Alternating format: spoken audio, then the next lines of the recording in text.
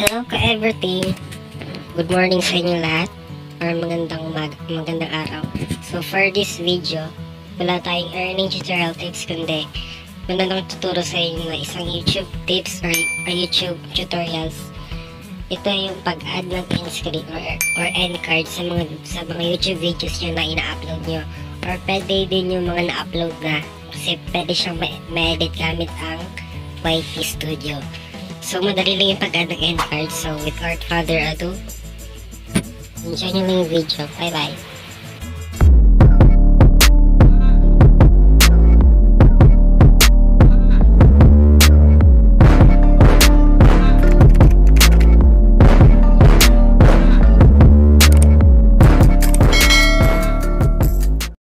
So, sa pag-edit ng ano, ng end screen gamit ng cellphone mo or Android phone mo, is madali lang. Same step na siya sa mga naka-PC, naka-desktop, or naka-laptop.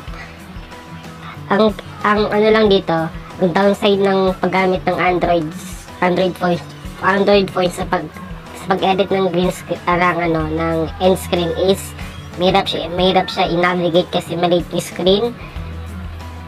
So, yun talaga yung pinaka ano niya, main downside niya. Yung ano naman dito, yung pros naman, yung parang ano, advantage niya is ano siya?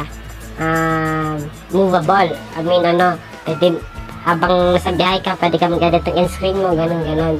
So sa mga ano pa lang dyan yung sa pag ano sa pag add ng end screen gamit ng phone ay useful useful sa mga small youtubers pa lang kasi mostly gamit nila is phone lang. So so pace lang tayo dyan kasi baka soon makakabili din tayo ng PC, laptop or anything na malaking screen So, una mong gagawin is dapat naka ano siya, naka-enable yung um, auto-rotate ng cellphone mo.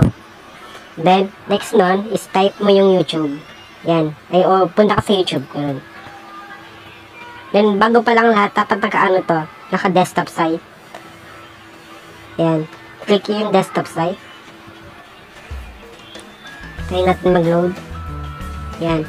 The next one, punta ka settings ng punta ka sa settings ng Chrome ng Chrome mo. Then punta ka sa my site settings. Ito siya. Click nyo. Then dapat yung cookies dyan is naka allowed hindi siya black cookies. Kasi para mas smooth yung pag navigate nyo sa YouTube.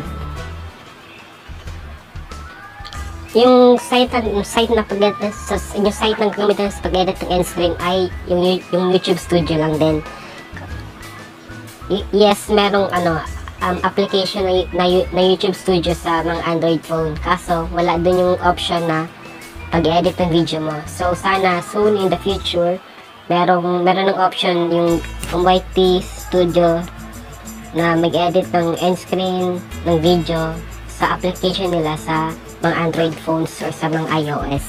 So, first, click nyo, uh, make sure yung nakasign in account nyo dito is yung yung YouTube account nyo. Kung hindi pa, isign in nyo lang siya.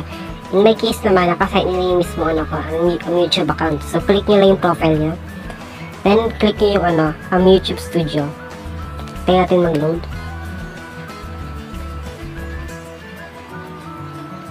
Loading pa. So, yan. Once na nakakapag-load na yan, punta ka sa may videos or sa may contents, yung parang may logo ng YouTube dyan sa may side. Then, hanapin nyo lang yung gusto nyong video na i-edit sa pag, sa pag-add pala ng end screen, pwede yung habang nag-upload ka pa lang or pwede yung na-upload mo na na video. So, so, in my case, let's try to edit this one. Sa may pinaka ano ko, ang recent uploaded video. Then, hanapin niyo yung ano. Once na niyo yung video nyo, hanapin niyo yung end screen sa may gilid. Ito siya. Yan, end screen. Click nyo lang end screen. Then, bago ang lahat, make sure na alam nyo yung timestamp ng outro nyo. In my case naman, yung timestamp ko is 1020 to 1033 sec minute eh, seconds. Yun na yung, uh, yun, yun na yung unang segundo ng outro ko papuntang last ng video ko.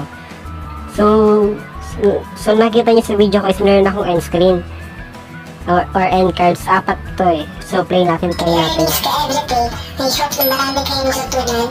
Don't forget to like, share, and subscribe, and hit the notification bell para updated ka lagi So, di ba niya ni Enskin, kaya meron akong subscribe, ano, um, subscribe to my channel, yung videos ko, din meron akong playlist.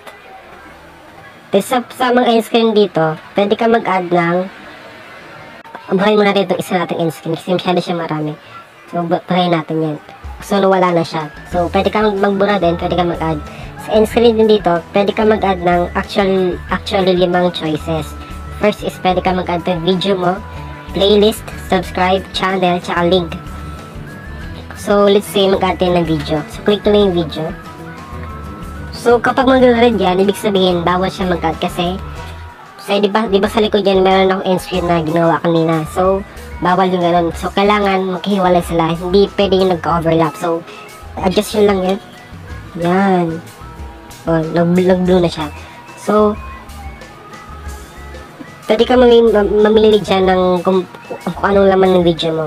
Pwede yung most recent upload mo, yung pinaka yung pinaka-recent mo na na-upload. Then, yung the best for viewer is yung maraming views. Then, Then, yung last is just specific video. Pumili ka ng video na gusto mong ilagay dyan. So, let's say, is gusto mong umili lang. So, click mo lang yun, hanapin mo yung video na gusto mong ilagay. So, in my case, ito, yung foods. Yan. So, ang lalabas na siya dyan. Then, pwede yung i-edit yung timestamp din. So, sa akin, edit ko siya ng 10, 10.20.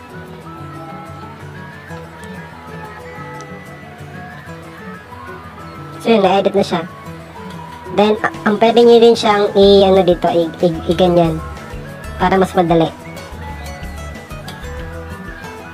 So, ang gano'n lang siya kadali ka everything. So, once na nagawa nyo na siya, is, ang pwede nyo na siyang i-save. So, ganun lang. So, ano din, sa paggawa din ng end screen, pwede kang gumamit ng end screen template sa mismong video mo. Um, kumbaga, ang yun yung outro mo. Then, once na nagawa mo na yan, pwede mong adjust yung mga end cards dun sa end screen templates mo para ma-fit siya. Parang ganito. So, ganun lang, kadali. I hope you enjoy it. So, ganun na siya kadali ka everything. Di ba ang dali lang ng pag-add ng end screen gamit ang ating cellphone or Android or iOS. Ang at tandaan nyo lang na ang steps sa pag-add ng end screen gamit ang ating cellphone ay same lang sa steps sa pag-add ng end screen or end cards gamit ang mga naka PC or naka laptop. Pinagkaiba lang nito is yung size sa screen.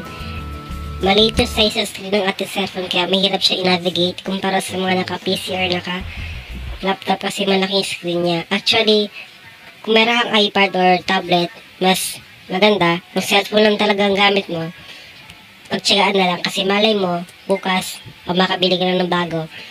Tapos, um, i-familiarize nyo lang yung iba pang options sa pagdadang S kasi marami, marami pa yun doon. Tapos, um, if you have more suggestions pa kung ano pang gusto nating gawang video, comment nyo lang sa baba. Don't forget to like, share, subscribe, and hit, and hit, and hit the notification bell ka everything. Bye-bye!